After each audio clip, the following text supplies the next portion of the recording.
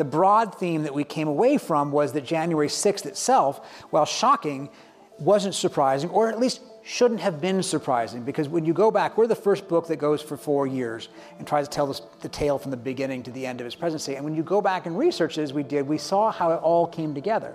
That this wasn't a one off, it wasn't an aberration, it was a four year war mm. on democratic norms and institutions.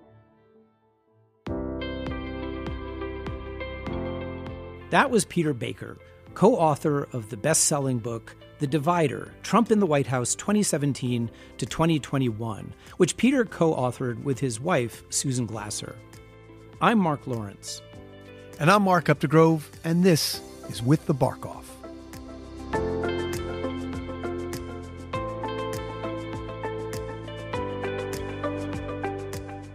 Peter Baker is the chief White House correspondent for the New York Times, a political analyst for MSNBC and the author of several books on the presidency, including Days of Fire and The Breach.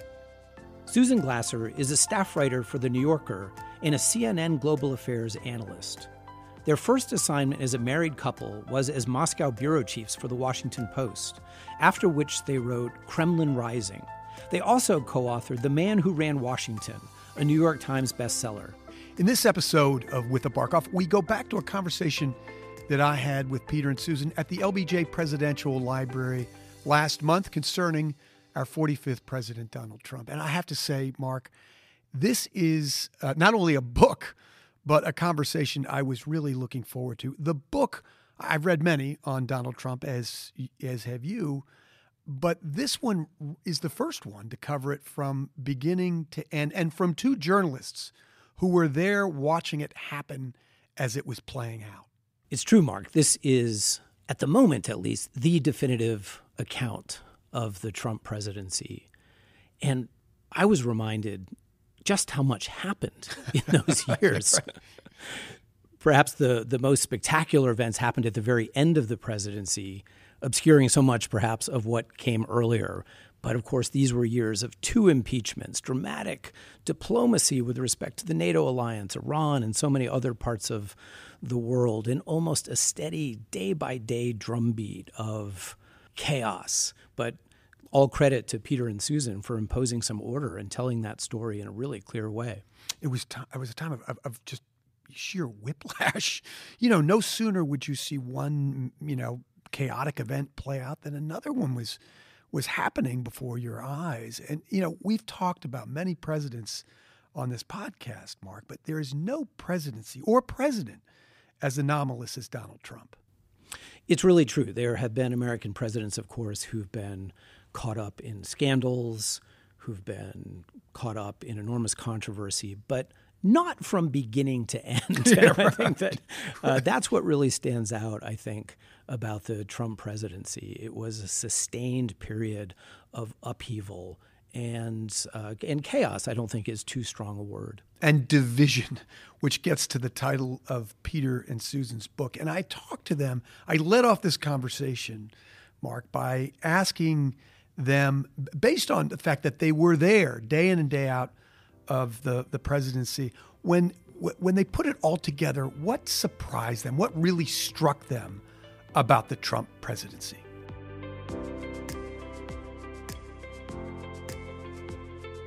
Uh, you know, we covered a lot of stories. I think you mentioned that very generous introduction. We covered the war in Afghanistan, the war in Iraq. We covered the rise of Vladimir Putin in Russia. We never thought we would be writing stories like this about our own capital, about Washington, mm. D.C. And in fact, uh, you know, to the question of what surprises you, there's only one thing in this book uh, that we wrote in any other book. And um, our first book was called Kremlin Rising, and it was about Vladimir Putin's Russia.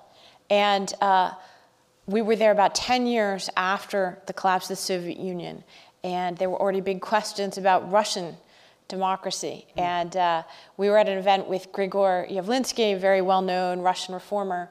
He was asked, Well, what about the state of Russian democracy? And he told this anecdote that stuck with us at the time. Uh, and we put that in our first book. It's an old one uh, that will be familiar to anyone who lived in, in Russia in those years. Uh, it's one about an ambulance driver who picks up a guy, and uh, after a while, they're driving through the city the guy says, Hey, wait a minute, where are we going? And the ambulance driver says, Well, we're going to the morgue. the guy says, Well, what do you mean? I'm not dead. Uh, and the ambulance driver says, Yeah, well, we're not there yet. so, you know, that was a kind of a, a, a, sad, you know, morbid joke about Russian democracy 20 years ago. Now you couldn't even tell that joke about Russia. And somehow it seemed kind of sadly relevant to the Washington that we've been covering. So that's the only thing that uh, appears in two of our books. Hmm. Peter, how about you? Did, you've covered every administration since Clinton and written books about the Clinton, George W. Bush, Obama, and now Trump administrations. As you put this story together, page after page, did anything strike you about this period? Well, it's kind of become a cliche in Washington in the Trump era to say that there is nothing surprising, but everything is shocking, mm. right? In other words, that he still has the capacity to shock us, even if we should not be surprised anymore. Just the other day, what did he say? He said that certain rules in the Constitution should be terminated so that he could be returned to office right away rather than, you know, go run for reelection or something like that. And that it was shocking but not surprising. Mm. And I think that what we discovered in writing this book was how many times we were shocked by things we thought we knew, but in fact there was a whole lot more to it than we knew, or things we didn't know that we could find out in the time after he left office. A handful of examples come to mind, you know, when he talks to his chief of staff, John Kelly, he says, You effing generals, how come you can't be loyal to me like the German generals were? Well, what German generals do you mean? John Kelly says. You know, Hitler's generals in World War II. And he says, Well, sir, you know, they did try to kill him three times. no, they were very loyal. So is that, is that surprising or shocking, right? It's shocking that he would want Hitler's generals to be his vision of who worked for him, but it's not surprising anymore. And I think that the, the broad theme that we came away from was that January 6th itself, while shocking, wasn't surprising, or at least shouldn't have been surprising because when you go back, we're the first book that goes for four years and tries to tell this, the tale from the beginning to the end of his presidency. And when you go back and research as we did, we saw how it all came together that this wasn't a one off, it wasn't an aberration. It was a four year war mm. on democratic norms and institutions, as Susan talked about with the joke uh, involving the Russians. That was what was happening. So, January 6th, if you think about it and you pay attention to it, especially if you go back and look at it in hindsight, was the inevitable outcome in some ways of what was going on. Let's go back to 2016. Was Trump's nativism, his, uh, his xenophobia, did he adapt his message for uh, the electorate at that time? Or is this something that he was sounding for years and years and years and the electorate caught up? I mean, there's really two, two, two kinds of politicians. There's the Ronald Reagan, who in 1964 sounded the same message that he did in 1980, but the American voters caught up to that message. And then there's the Bill Clinton, more amorphous, somebody who adapted to the electorate in 1992 and changed his own stances on things in order to become a viable candidate. Where does Trump fall into that spectrum? Well, uh, you know what's interesting is that if you want to get a shock, uh, and you want to know what Donald Trump thinks about a lot of world issues, you don't need to uh, listen to what he said in 2016 or 2018. You can actually read an interview that he did with Playboy magazine. Uh, yes, Playboy magazine. Uh, in 19, it came out in early 1991, so it was in 19 or early 1990, basically at the very end of the Cold War. And you know this Playboy interview, uh, even Angela Merkel was reading this as a guide to what Donald Trump thought. Uh, he wasn't in politics, you know, for decades to come. He was just a, you know, a sort of brash, uh, you know, publicity hungry, soon to be multiple bankrupt uh, New York City property developer. But he even then fancied himself, uh, you know, to be a kind of uh, world historical figure. He had uh, our previous book pointed out he had volunteered himself uh, to uh, George H.W. Bush uh, to serve as his vice president, an offer that was uh, kindly declined. by, by Bush. He had volunteered actually to be Ronald Reagan's arms control negotiator because, as everyone here knows by now, Donald Trump is the greatest negotiator in the history of the world.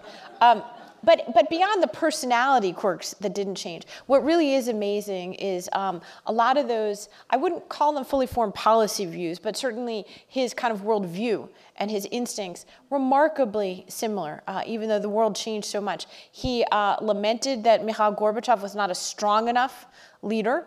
He actually praised uh, the Chinese crackdown on Tiananmen Square. Uh, so even then, he had this affinity for autocrats and authoritarians. He uh, was very much a protectionist. Even then, at the time, of course, the issue was trade with Japan rather than China. Uh, and in fact, in the reporting for the Divider, his worldview was so set in the 1980s. Uh, some of his White House officials told us that in early months in the White House, he would often say Japan when he meant to be talking about China, mm. because that was his frame of reference. So you can read, uh, you know, this. Uh, early interview with Playboy magazine as if it was like a Rosetta Stone to Donald Trump. But I would put one asterisk there because I do think that as a communicator and as a politician, Donald Trump is always workshopping lines that he thinks will will work better. Uh, and there are many examples of that. There, he would start talking about things uh, on the campaign trail in 2015 and 2016, and you know, drop them basically if. Uh, uh, people didn't really respond to them. So he definitely had a sort of feedback loop uh, with what he wanted to talk about. And since he doesn't really care about policy very mm. much, uh, you know, he was a lot more willing than many politicians just to say what he thinks people want him to say. Peter, you write in the book that a senior national security official who regularly observed Trump in the Oval Office compared him to a, vo- a vo- velociraptor uh, in the movie Jurassic Park that proved capable of learning while hunting their prey making them ultimately more dangerous. Trump, uh, in characteristic immodest form, said, uh, called himself a, a stable genius. How would you describe Donald Trump's native intelligence. By the way, that's very stable genius. Very stable genius, yeah. Um, a very stable genius. Very, very stable very. genius. Yeah, it's a good, good question. He would probably be offended by the Velociraptor comparison. He would be a T Rex, I think, in his mind. But the Velociraptor, what the, what the official meant was that in this movie, for those who've forgotten it, there's a scene where the kids are running from the, from the killer dinosaur and they go into the industrial kitchen and they close the door and they think they're safe, right? But then the velociraptor has learned to turn the handle of the industrial kitchen, which is a sign of learning how to do things that otherwise were not within the animal's natural instincts. And that's what this official meant about Trump. He's not going to learn about policy details about healthcare. He probably couldn't tell you more about healthcare reform today than he could have six years ago. But he has figured out how to, to manage the levers of power. And that is to get rid of the John Kellys, who were not like Hitler's generals, and to get people in there who would be more deferential to him, who were more willing to go along with the things he wanted, who, if it were not uh, Mike Pence, might have gone along with him even on January 6th had he had a different vice president, right? And so I think, you know, he he's not a policy wonk, okay, in terms of intelligence. He's not going to be a master of details. I think he has trouble processing certain information. I remember being with him in an interview in the Oval once where he just clearly didn't understand what we were talking about. But he has a cunning about him that is hard to match in, in modern politics. The cunning of understanding a we- uh, an opponent's weakness, the cunning of understanding even the weaknesses or vulnerabilities, as Susan always likes to say, of the people who actually want to work for him. He understands their weaknesses and vulnerabilities and how to take advantage of them in order to get them to do what he wants them to do. So it's, it's not an IQ as much as an EQ of sorts, I suppose, um, but that has, you know, that made him successful in a way that no other non-politician ever has been, right? He's the only president who's ever served in our entire country who'd never spent a day in public life, in either government or the military. And yet he managed to use this cunning, this instinct he has for you know, bombastic populism for weaknesses of his enemies uh, to parlay it into um, the Oval Office. And he did it in part, as you say, because we were a divided country and he is a master divider who came along at the moment where he fit the times. It, in terms of disagreeing with you, uh, he called the media infamously the enemy of the people. When Lesley Stahl asked him during a 60 Minutes interview why he did this, you write in the book, he replied, You know why I do it? I do it to discredit you all and demean you all so that when you write negative stories about me, no one will believe it. What was it like to be a member of the press corps during the Trump years relative to your experiences in other administrations? Yeah, I mean, look, you know, every president hates us. I mean, Mark, you've written, you've interviewed multiple presidents, you've written books on on on JFK, LBJ, the Bushes. I mean, you know, that it's built in, it's baked in, uh, um, and and that's fine. That's okay. That's it's part of the system. We're, it's an adversarial system. We're not supposed to be their friends. Um, what Trump did, of course, was take it to a different level, right? When you say again and again words like fake news, uh, and you use phrases like enemies of the people. Um, what you're doing is not saying, I think this story is not fair, or I think this reporter is not fair. What you're saying is, I don't believe in the very concept of a free press. Mm-hmm. And he's undermining the very nature of our uh, system, really. And it has worked. Our credibility, due to our own you know, work, has always been somewhat suspect in polls. It's gone down substantially since then. I think we're just barely above Congress, which is a little like, you know, uh, the toad being above the frog. But um, it, it, it's, it's, he wanted to do exactly what you just said. He told Lesley Stahl to discredit anybody, so any source of information other than himself. I was struck the other day, just Friday, that Vladimir Putin said the same thing to a reporter there. He says, "Don't trust anybody. The only person you can trust is me." That would distill Donald Trump's approach toward the media as well. Mm-hmm. Don't trust anybody. Only trust me. And it was a corrosive thing. I mean, obviously, on the one hand, he was the most transparent president I've ever covered. He talked to us more than any other president. He gave us more interviews. He gave us more sound bites, more press conferences, more pool reports, more pool sprays. And, you know, whereas Biden, for instance, doesn't do that much at all by comparison.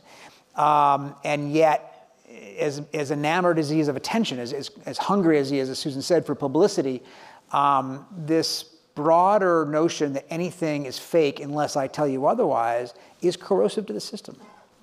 Susan, did, did it make you, did, did this kind of scrutiny that he puts you under, this kind of vilification, did, did it make you change your behavior in any way as a reporter? How did you change as a consequence of that kind of treatment by the President of the United States? Well, I mean, I think, you know, there's the positive side of this in some respects is that uh, the Trump years were really a moment of return to first principles for journalists in, in a way that is probably healthy uh, and good. Uh, if there were ever uh, a reason to suit up and to you know, understand the value of independent, critical minded, honest reporting uh, and the urgency around doing so, uh, you know, this this is literally this is why we become journalists yeah. in many respects. It's not uh, to have access to the halls of power. It's not to be popular. Certainly, uh, all presidents uh, are unhappy in some way about their coverage. It's a question of their ability to suppress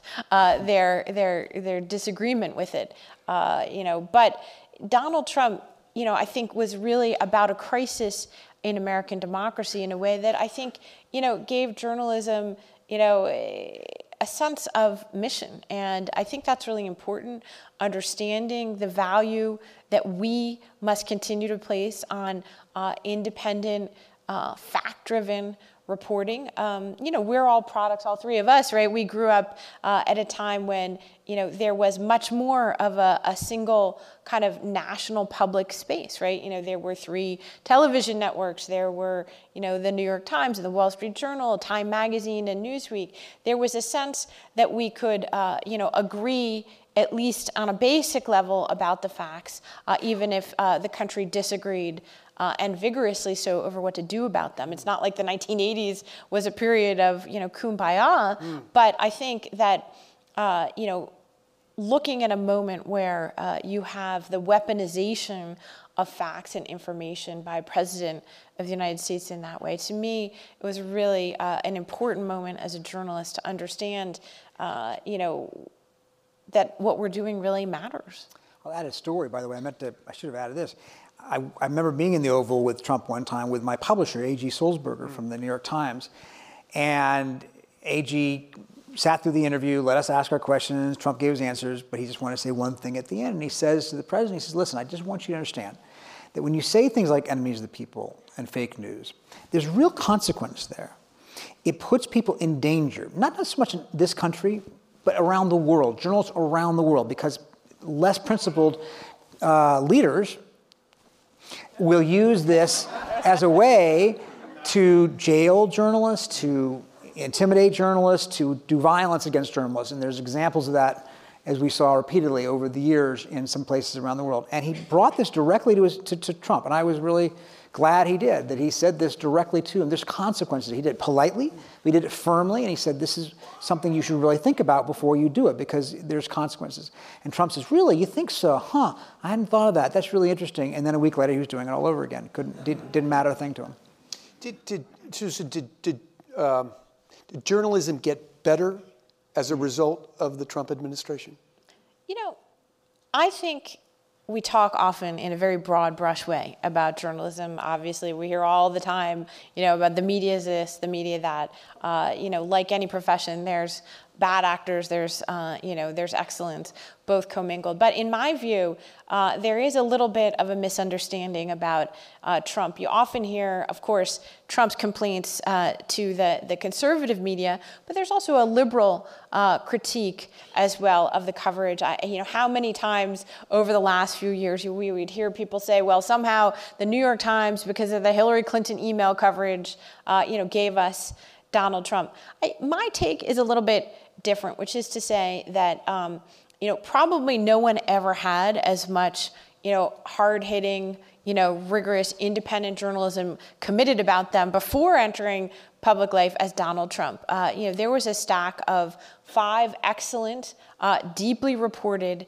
uh, biographies about Donald Trump uh, even before he announced his campaign. I brought that group together actually when I was editor of Politico magazine in the spring of 2016. Uh, they'd never met each other, these biographers, going all the way back to the very legendary Wayne Barrett, who was uh, the investigative reporter for the Village Voice. You could read Wayne Barrett's 1979 profile of Donald Trump and learn an awful lot about the guy who was going to go on to become president. We had this crazy lunch in the basement of Trump Tower at the Trump Grill. Uh, and we compared notes. Uh, you know, I sort of tongue-in-cheek called them the Trumpologists, uh, not really anticipating, you know, that that there would be, I guess, Trumpologists for for decades to come.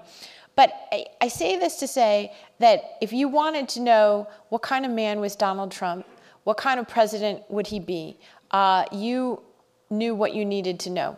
Uh, at, thanks to a lot of hard work mm. uh, by a lot of dedicated investigative reporters and authors and journalists and scholars. And, you know, certainly we've learned more uh, since then. But what's remarkable is that, you know, this, I would call it almost this sort of presumed compact, you know, between journalists and their readers. Somehow that is broken down as our political system, uh, you know, has has entered, I think, a crisis in recent years. And you know, when I was coming up in journalism, we had the saying, uh, you know, that. Uh, uh sunlight is the best disinfectant. Mm. You know, there was this notion, right, that it was our job as journalists to sort of pick up the rock uh, and show you all the creepy, crawly things underneath, and then the voters. It was up to them uh, to figure out what to do about it. And I, this link between journalism and accountability, I think, is is where we are having a crisis. I think that's true. I would add to that. I think I mean it has been a test, right, of all the different values and, and structures that we had coming up we believe in neutrality, we believe in balance, we believe in fairness, we believe in truth. How do you reconcile all these values in a time when we are being called fake news all the time, right? Do you respond in a way that makes you look like the opposition, which is what he wants, mm-hmm. okay? And what some of, frankly, his critics want. His critics are mad at us because we're not more of the opposition, and he wants us to make us the opposition, right? I mean, I like what uh, Marty Baron, who was the editor chief of the uh, Washington Post, said. We're not at war, we're at work. Okay, so that means our job is not to be his opposition. Our job is not to be his opponent, not to be his, you know, uh, his, uh, his scold or his lecturer. Our job is to report the truth, as Susan said, to go back to first principles. Now, that doesn't mean that it's not, we shouldn't rethink some of our ways we do that, right?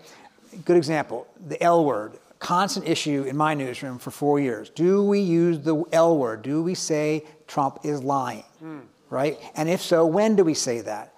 It's a hard one. It's not as easy as people uh, like to think. You should say it all the time. You should say everything he says is a lie. Okay, I get it. I understand that. First of all, if you use the word all the time, it loses value and it becomes looking like you're screechy rather than you're reporting. But secondly, we've always been reluctant historically because we don't like to presume that we know what somebody's thinking. If we say somebody said something wrong, that what they say is false, what they say is not true, but do we know for a fact that they know it's not true when they say it? That's, in theory, what a lie is.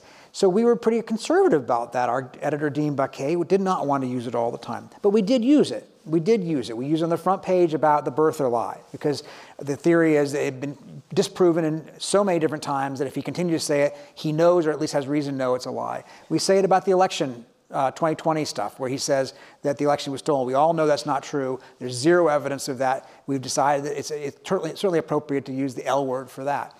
But more importantly, I think, was just fact based reporting. And our friends at the Post uh, actually tabulated how many false and misleading statements, some of them you could call lies, that Trump made over four years. It was 30,000 statements that were false or misleading. That is a power unto itself. You don't need to sit there and be a columnist or an opinion journalist and say, shame on you. The fact of that says it for itself, in my view. Well, except that that's also an example uh, where the accountability has broken down. Uh, and what are the consequences of having a president uh, of the United States who, who lies as he breathes? Mm-hmm. Uh, and, you know, 30,000 lies uh, is the kind of record, uh, whether you call them falsehoods, misstatements, untruths, you know, that's an extraordinary record. And, you know, I mean, one of the big takeaways clearly is that uh, you know when you have a rogue president, you know the tools to constrain that president uh, are mostly not uh, in laws and institutions; they're in individuals. Uh, and you know Congress has very very uh, limited power. Basically, it has, in case of emergency, break glass, and Congress broke the glass twice uh, in the course of the Trump presidency uh, with not one but two impeachments and uh, you know, wasn't able in a polarized system. If anything, what we learned as a result of the Trump presidency is that the mechanism for accountability for a president envisioned by the Constitution is, for all intents and purposes, non functional in a divided, polarized country such as we are. It's impossible to envision uh, any president really uh, being able to you know be convicted mm. in a Senate that you don't just need 51 votes to convict, right? And it's it's it's really almost inconceivable to see impeachment anymore going forward as a meaningful tool of constraining a president, given that polarized political reality. Peter, you write of Fox News that, that uh, they were blessed by Rupert Murdoch. Right wing TV became Trump TV talk about the symbiotic relationship between Donald Trump and Fox News. Yeah, it's remarkable. Um, I mean, you, I know that other presidents or other politicians will say that the, you know there are some news organizations that were supportive or, un, or not supportive of this president or that president. There's never been anything like this since the earlier days in the presidency when we had a much more overtly partisan press. Now, in the 19th century, you saw this a lot. There were Republican papers and Democratic papers and so forth. But in the modern era, this is a pretty unusual thing. To the point where I remember being in Cape Girardeau, Missouri, with Trump on the eve of the 2018 midterm elections, and he's on stage and suddenly calls up Sean Hannity. Hey, Sean, come on up here. And then he calls up Judge Jeanine. Hey, Judge Jeanine, come on up here. And he starts naming all the different anchors on Fox. We like so, and we like Lou, and we like Tucker, and we like, oh, don't we really like, uh, you know, Steve, and so forth. In fact, our friend and colleague Jane Mayer uh, reported that he literally gave ratings to the different Fox anchors. You know, like I think Steve Doocy was a 12 out of a scale of one to 10, um, and so forth. And I think that there had rarely, if ever, been that kind of symbiotic thing. What's interesting, you talk to people who are Fox veterans today.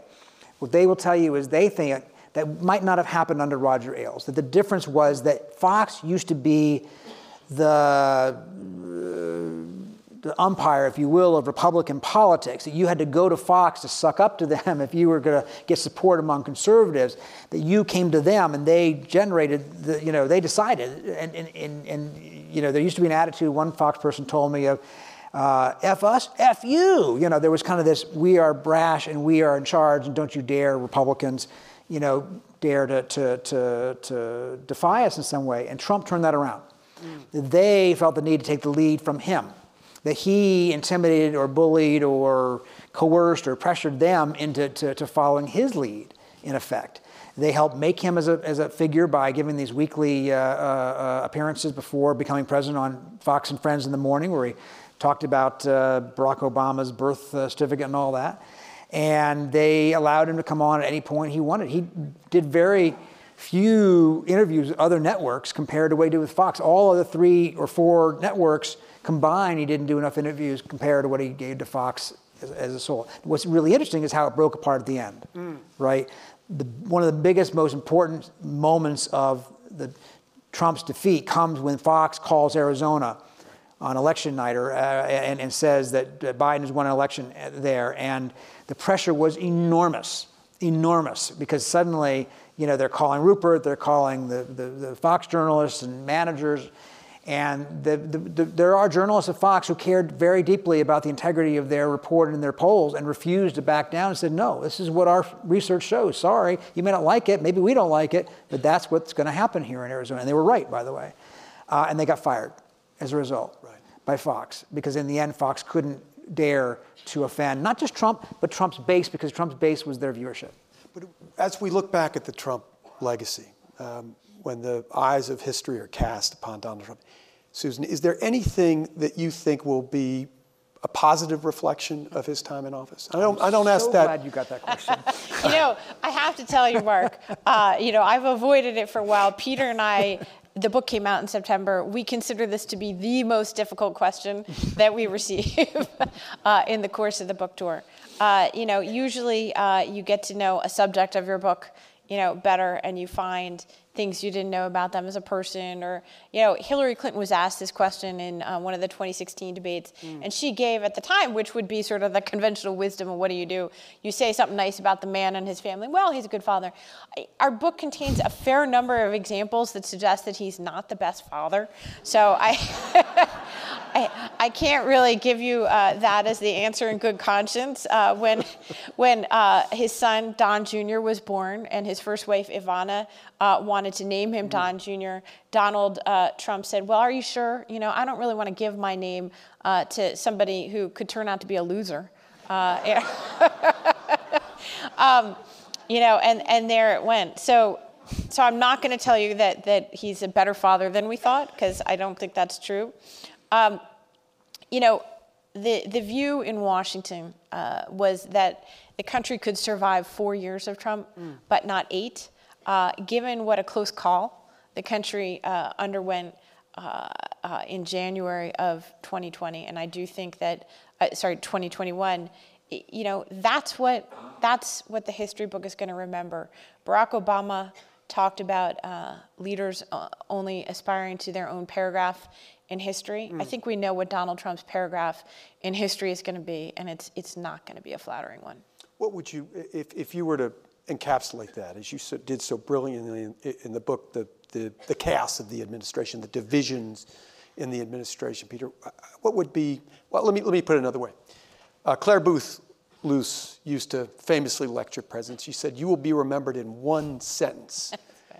What will be your sentence? Wow, he, he doesn't even get a, a, whole paragraph, just a sentence. Just, uh, and she would illustrate, she would say, Lincoln, he freed the slaves.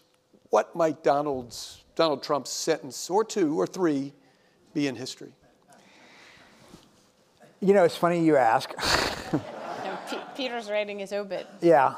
oh, really? wow. Uh, at the New York Times, it should be clear, we write uh, advance obituaries on famous figures. We have them of all presidents, obviously, and vice presidents, and many others as well. We actually have, I think, thousands, if not, I could be wrong about the number. We have a huge number of advance obits that are sitting in the system ready to, for their use, and obviously, it's important to have them for people like presidents. And I have written almost all the living presidents' obits. So we have, I've had that thought a lot. Like, what do you say? What do you, how do you come up with the one sentence? Because that's all you get in a lead that sums it up. And I'm rewriting the Trump one now because it's, it's a little dated. Uh, and I think it's what we just said. I think it's, you know, that, that you have this um, uh, disruptive force who came and upended American politics and the, at the end of the day refused to accept that he had lost and tried to hold on to power uh, through violence and, and, and lies.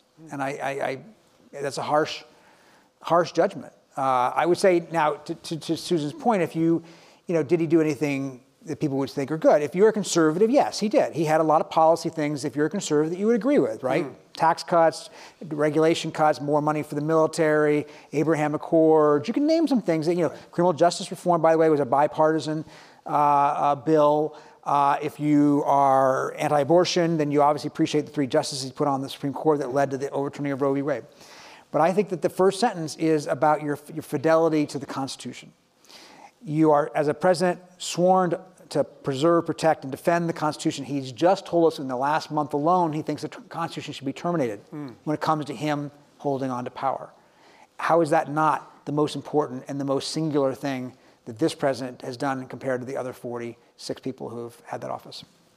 Susan, let me deviate from Trump for a moment, probably happily for you, since you've lived this story for so long.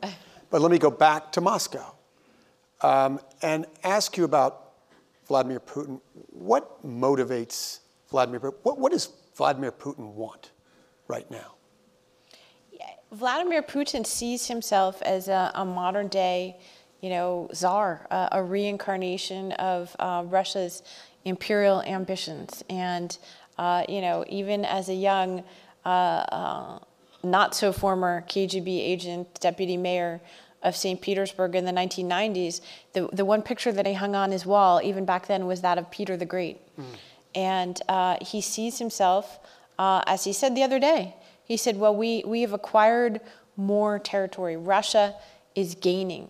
Uh, he sees himself in the line of Russia's leaders who, even at, great cost uh, in lives and treasure, uh, uh, managed to aggrandize and to make Russia an empire again.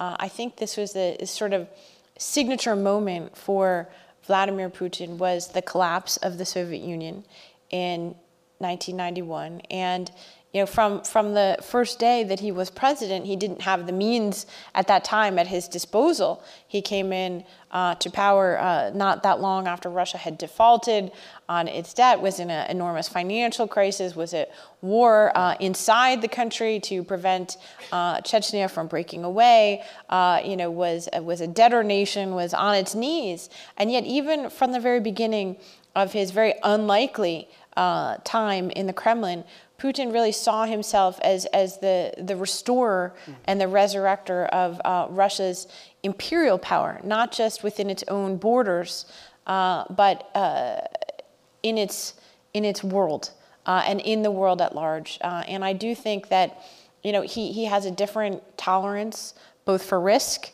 uh, and certainly invading Ukraine was an incredibly risky thing to do.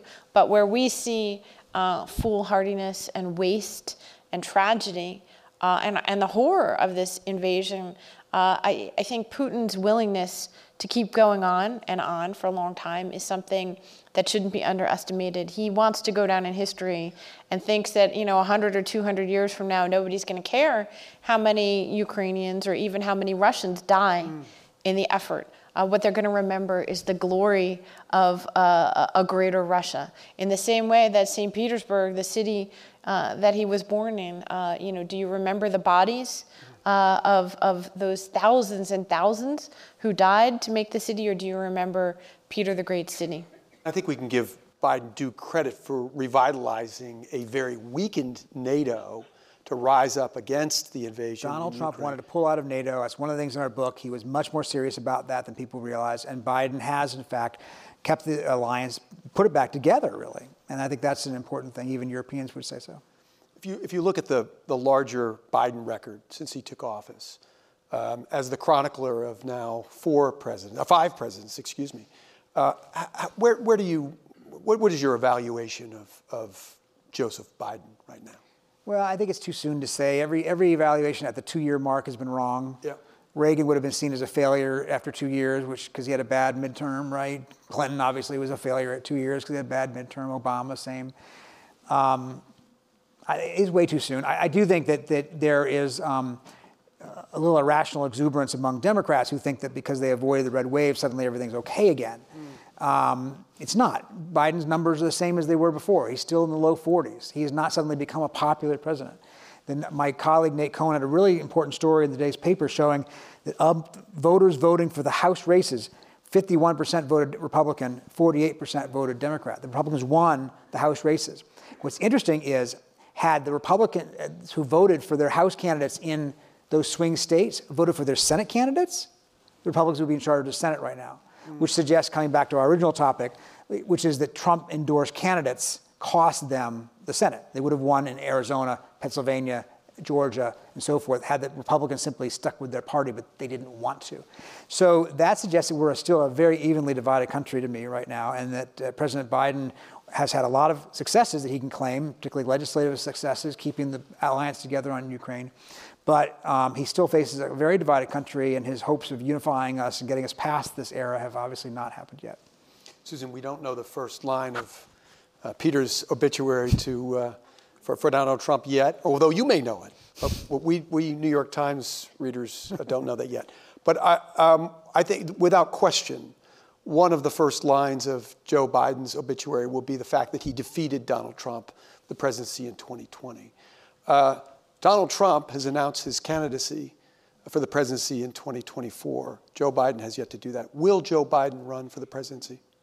Well, Donald Trump has proven to be a uniter of one thing, and that is Democrats, uh, who can't necessarily agree on a lot of things, but they did agree and came together around a Biden candidacy in 2020 uh, that was really premised on the idea that, uh, you know, Trump represented some fundamental threat uh, to to the country, uh, something more along the lines of an existential challenge uh, outside of the normal debates of policy. And I believe that Joe Biden thinks today that regardless of his age, he is the best equipped candidate to defeat Donald Trump once again in his party. So, to the extent that Trump remains the front runner, uh, albeit a, a, beaten up front runner for the Republican nomination, uh, I think that makes Biden more likely to get in. It appears that uh, the unexpected uh, success in beating back a red wave in November has also uh, heartened and emboldened uh, the, the White House. There's all sorts of tea leaf reading these days in Washington. Uh, Peter's colleague uh, reported the other day uh, a story from the recent state dinner for French President mm. Emmanuel Macron, uh, in which Jill Biden suggested uh, to the French leader that, uh, that Biden was really seriously considering running again. Uh, Macron then gave a toast to his reelection bid. Look, Joe Biden's already the oldest president uh, in American history. If he runs for a second term in office, by the end of that term, he would be 86 years old.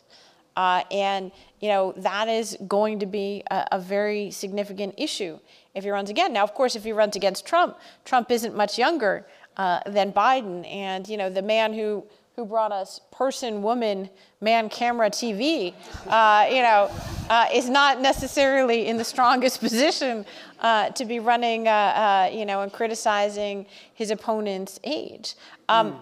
You know, look, we live in this very uh, polarized moment. politics is more team sport than ever before. Peter pointed out, you know, that essentially it's a kind of a 50-50 election result once again uh, in 2022. And you know, we're, we're seeing these huge swings in control of our institutions based on relatively small swings uh, in our electorate. And so that can make a difference. But the, you know, the truth is, is that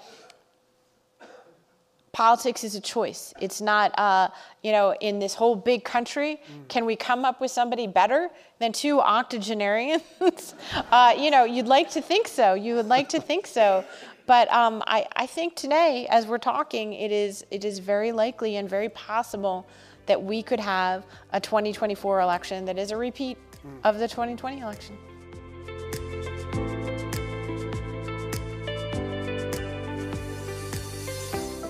Mark, I have to say, as much as I was anticipating that conversation, I enjoyed it even more than I expected.